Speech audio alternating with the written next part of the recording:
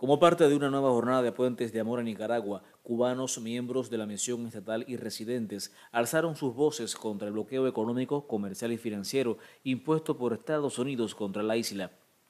Durante el encuentro en la sede diplomática de la nación caribeña aquí, se exigió una vez más el fin de la medida unilateral implantada por Washington desde hace más de seis décadas y recrudecida en los últimos años.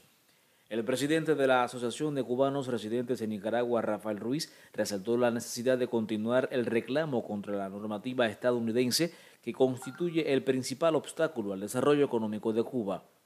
Recordó que el próximo 2 y 3 de noviembre Cuba presentará por trigésima ocasión consecutiva ante la ONU el informe contra la referida política norteamericana, de la cual no escapa ninguna esfera del ámbito económico, político, cultural y social de la isla. No hay terrorismo ni guerra mediática, ni bloqueo, ni lista negra que rinda a un pueblo como el nuestro. En la cita, funcionarios de la misión diplomática también rememoraron las fechas patrias que marcaron el mes de octubre, entre ellas la muerte en Bolivia del guerrillero argentino-cubano Ernesto Che Guevara, el alzamiento en la de Majagua protagonizado por Carlos Manuel de Céspedes, el Día de la Cultura Cubana y la desaparición física del comandante Camilo Cienfuegos.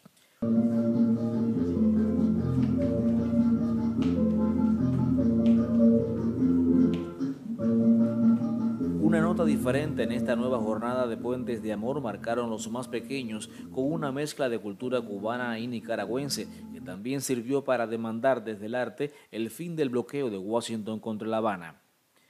De acuerdo con datos oficiales, en más de 60 años los daños provocados por dicha medida, tomando en cuenta la depreciación del oro en el mercado internacional, se cuantifican en más de 1.326.000 432 millones de dólares. ¿Cómo sería Cuba hoy si el país hubiera dispuesto de esos recursos? El bloqueo económico es el elemento central que define la naturaleza de la política de los Estados Unidos hacia Cuba. Fue fortalecido a niveles sin precedentes bajo el gobierno del presidente Trump.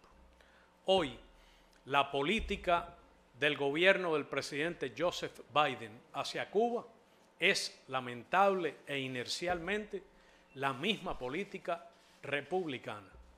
No se han introducido cambios en esa política. Se mantiene, y es tema de, de cada día, el diseño quirúrgico que persigue cada ingreso, cada fuente de financiamiento y de suministro del país. Desde Nicaragua, Josbel Bullaín, Prensa Latina Televisión.